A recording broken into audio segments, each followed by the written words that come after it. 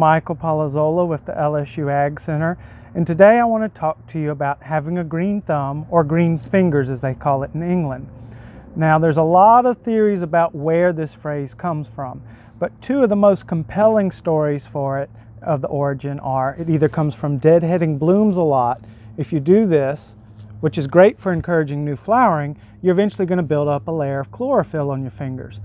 But what I think is even more pronounced is the layer of algae you build up on terracotta earthenware pots.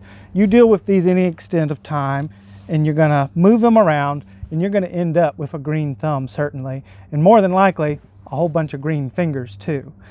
Now, in truth, it really started entering the literature in the early 1900s and became very popular in the 1940s with a gardening program based in England.